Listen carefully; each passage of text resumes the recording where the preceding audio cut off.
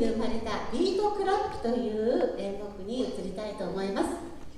ビートクラップは聞き慣れない言葉だと思いますがスキップで生まれました。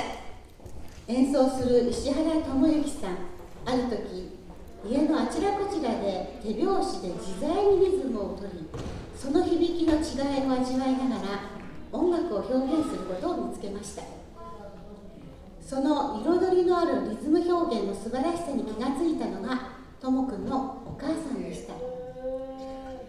そしてスキップの仲間川越亮君がピアノで共鳴し村山先生のドラムが入って即興演奏を楽しむようになりました。名付けてビートクラップ。杉山直樹君のお母さん香織さんのアイデアです。用意はできましたか？